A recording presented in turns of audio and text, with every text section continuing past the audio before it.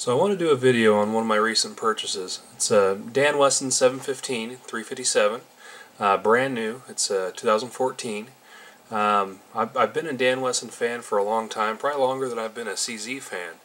Um, I've got a uh, a 15-2 357, and then also a, an 8-inch 22.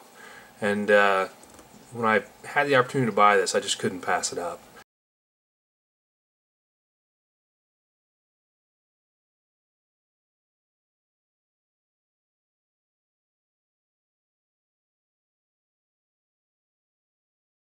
Like the older Dan Wessons, it uses an interchangeable barrel system. You just unscrew the nut on the end of the barrel, pull the shroud off, and then you can unscrew the barrel.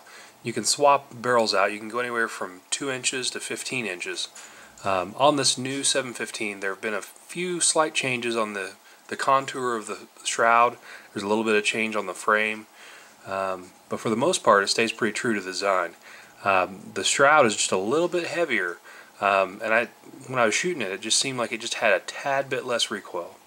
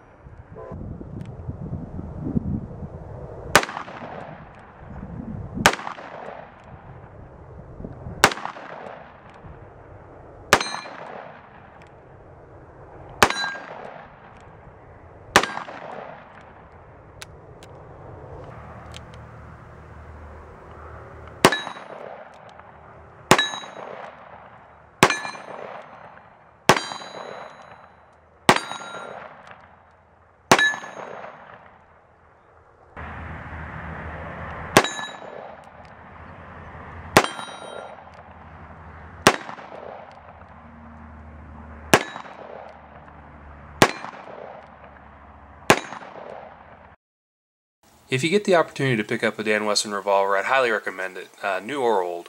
Uh, these 715s, they're actually they're showing up in distribution channels now, so keep an eye out, and uh, if you see one, jump on it.